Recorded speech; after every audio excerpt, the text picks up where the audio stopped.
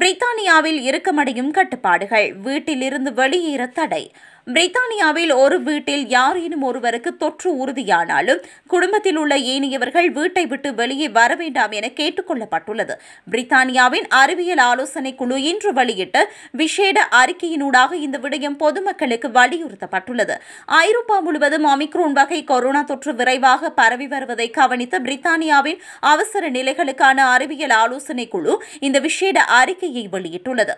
பிரித்தானியாவில் தங்கள் குடும்ப உறுப்பினர்கள் அல்லது நெருங்கிய தொடர்புகளில் யாராவது கொரோனா வைரஸால் பாதிக்கப்பட்டிருந்தால் நெருங்கிய தொடர்பில் இருந்த அனைவரும் அவர்களது குடும்பத்தினரும் தயவு செய்து வீட்டிலேயே இருக்குமாறு பொதுமக்களிடம் கேட்டுக் கொள்ளப்பட்டுள்ளது.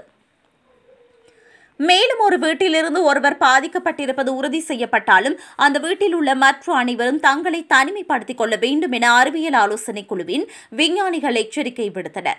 விசேடமாக ஒமிக்ரோன் வைரஸ் பாதிப்பை பற்றி பேசுகையில் வீட்டில் உள்ள ஒருவர் கூட ஒமிக்ரோன் வைரஸால் பாதிக்கப்பட்டிருப்பது உறுதி செய்யப்பட்டால் ஏனையவர்களுக்கு வேகமாக பரவும் என கண்டறியப்பட்டுள்ளது. ஒருவருக்கு பாதிப்பு ஏற்பட்டால் வீட்டில் உள்ள மற்றவர்கள் பாதிக்கப்படுவதற்கான வாய்ப்புகள் அதிகமாகவே உள்ளது என்பது கடந்த நாட்களாக காண ஏற்பட்ட நிலைமையுடன் ஒப்பிடும்போது தெரிய வந்துள்ளது என நிபுணர்கள் சுட்டிக்காட்டியுள்ளனர். அதற்கு முன்னர் முழுமையாக தடுப்பூசி போடப்பட்டவர்களின் வீட்டில் உள்ள ஒருவருக்கு கொரோனா தொற்று பரிசோதனையில் உறுதி செய்யப்பட்டால் ஏனையவர்கள் தங்களை தனிமைப்படுத்திக் கொள்ள வேண்டிய அவசியமில்லை என ஆலோசனை வழங்கப்பட்டது. எனினும் இந்த நடைமுறையில் மாற்றம் மேற்கொள்ளும் வகையில் ஏனைய அனைவரும் தனிமைப்படுத்திக் கொள்ள வேண்டும் என புதிய அறிக்கையில் கேட்டுக் கொள்ளப்பட்டுள்ளது.